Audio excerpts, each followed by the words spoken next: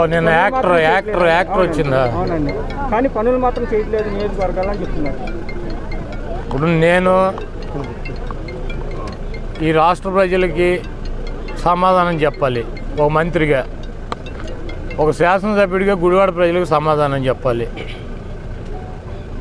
ఎవరెవరో వచ్చి ఏయో చెప్పి వెళ్తాటన్నిటికీ సమాధానం చెప్పాల్సిన అవసరం లేదు. కాకపోతే నేను గుడివాడలో ప్లా పేకాట క్లబ్బులు ముంచానా? పేకాట ఆడిస్తున్నానా? ఈ రాష్ట్రంలో జగన్మోహన్ రెడ్డి గారు పేకాట క్లబ్బులు ముంచాడా? పేకాటలు ఆడిస్తున్నాడా? విజయవాడ నడిబొడ్లో చంద్రబాబు ఆయన పార్ట్నర్ కలిసి ఆడిచ్చారు. మీరు అందరూ కూడా వెళ్ళి ఉంటారు పెద్ద పెద్ద క్లబ్బులు వందల మంది మెంబర్సు విజయవాడ గుంటూరు భీమవరం గుడివాడ ఇవన్నీ కూడా ఉండే. వాటన్నిటిని ముంచినటువంటి వ్యక్తి జగన్మోహన్ రెడ్డి గారు. పేకాటని విచ్చలవిడిగా ఆడిచ్చి జోదశాల చేసినటువంటి వ్యక్తి చంద్రబాబు నాయుడు అతని పార్ట్నరు. ఆ రోజు ఏమైనా నీ కళ్ళు? ఈరోజు ఏదో ఒకటి పనికిరానటువంటి మాటలు. గుడివాడ ప్రజలను అడిగితే చెబుతారు కొడల నాని పేకాట క్లబ్బులను ముంచాడా పేకాట క్లబ్బులు పెట్టించాడా అని చెప్పి. నేనేమి ఎవరి దగ్గర ప్యాకేజీలు తీసుకుని నోటికి వచ్చింది మాడతాం. ఎవడో డబ్బులు ఇస్తే ఆ డబ్బులు పట్టుకొచ్చి పిచ్చ పిచ్చగా మాడతాం అటువంటి కార్యక్రమాలు చేయం. నోరు అదుపులో పెట్టుకోవాలని మాకు చెప్పడం నువ్వు పెట్టుకో అదుపులో. నాకు భయం లేదు నాకు భయం లేదు. మేమన్నా భయపడుతున్నావా మేమన్నా భయపడుతున్నావా నిన్ను ఎవడ భయపడమన్నాడు జగన్మోహన్ రెడ్డి గారికి. మమ్మల్ని మమ్మల్ని మేము భయపడమన్నావా నాకు సిమెంట్ ఫ్యాక్టరీలు లేవు పాల ఫ్యాక్టరీలు లేవు. నేను సినిమాలు చేస్తాను.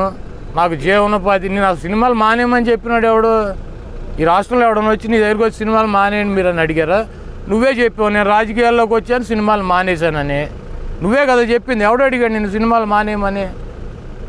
నేను సినిమాలు మానేయమని ఎవడో చెప్పలా. నువ్వే చెప్పు మళ్ళీ జగన్మోహన్ రెడ్డి గారు ముఖ్యమంత్రి అయ్యి బ్రహ్మాండంగా ఈ రాష్ట్రాన్ని పరిపాలిస్తే నేను రాజకీయాల్లో లేదు సినిమాలు చేసుకుంటానని నువ్వే చెప్పావు. నువ్వు సినిమాలు చేసుకుంటే మాకేంటి?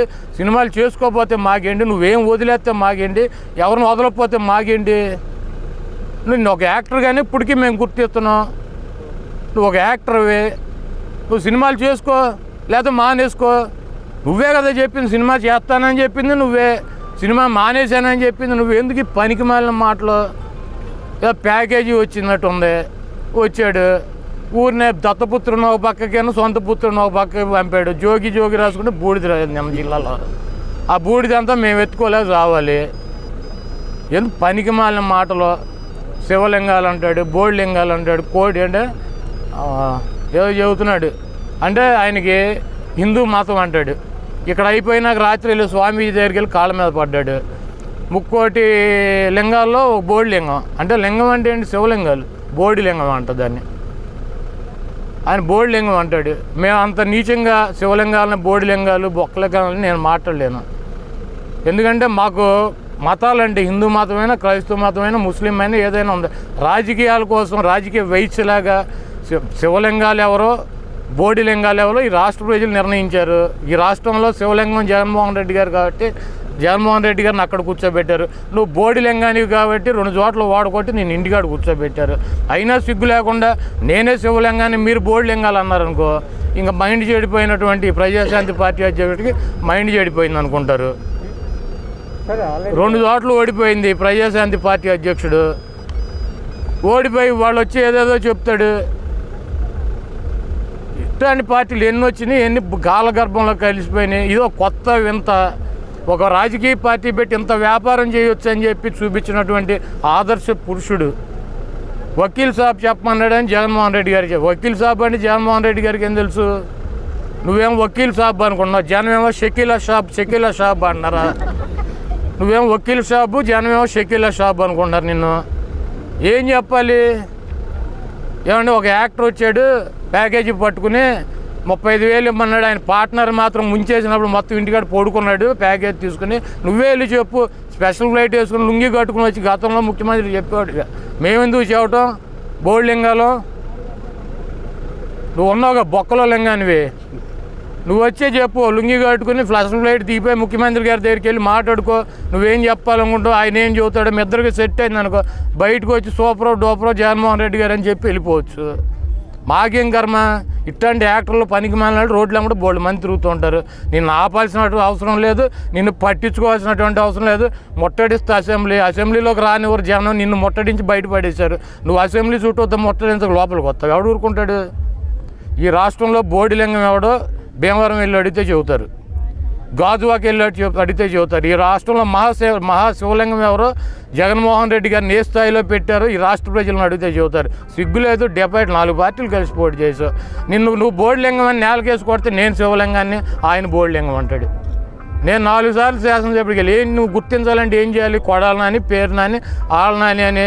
మేము కూడా ఇక ప్రజాశాంతి నీ పార్టీలో చేరి ఆరు చోట్ల పోటీ చేసి ఆరు చోట్ల ఓడిపోతే అప్పుడు గుర్తిస్తాం మమ్మల్ని నీకన్నా ఎక్కువ ఓడిపోయామని ప్రజాశాంతిలో జనసేన అదేలేవే జనసేన ప్రజాసేన పాలు పవన్ కళ్యాణ్ వీళ్ళంతా ఒకటి కాదా?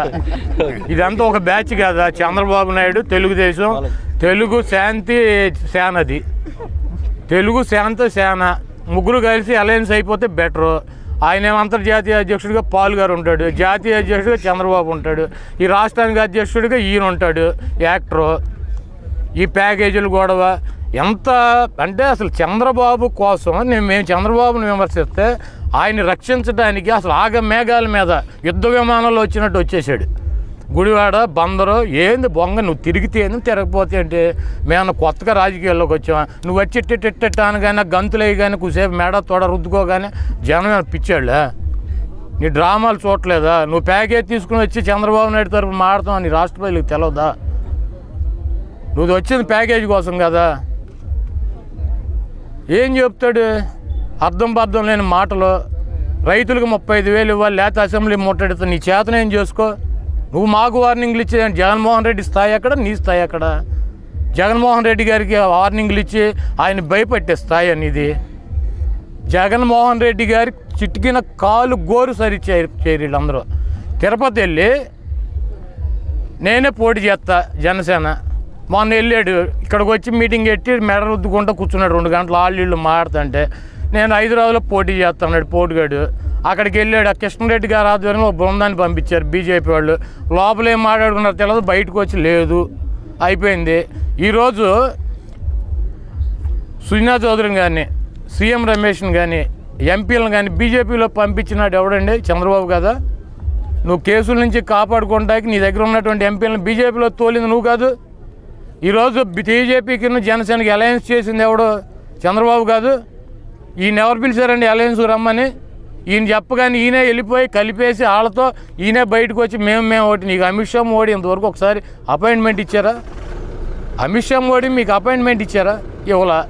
అయినా నువ్వే కలిసిపోయావు. ఇప్పుడు తిరుపతిలో బీజేపీ కనుక పోటీ చేస్తే టీడీపీ థర్డ్ ప్లేస్కి వెళ్ళిపోతుంది. కాబట్టి ఆయన ఎట్టో కూడా రక్షించాలి బాబు గారిని. మనకు లేకపోతే ప్యాకేజీలు రావు. కాబట్టి నేనే పోటీ చేస్తాను నేనే పోటీ చేస్తాను. అక్కడ ఎవడో ఒకరిని పెట్టి గాలికి వదిలేస్తాడు.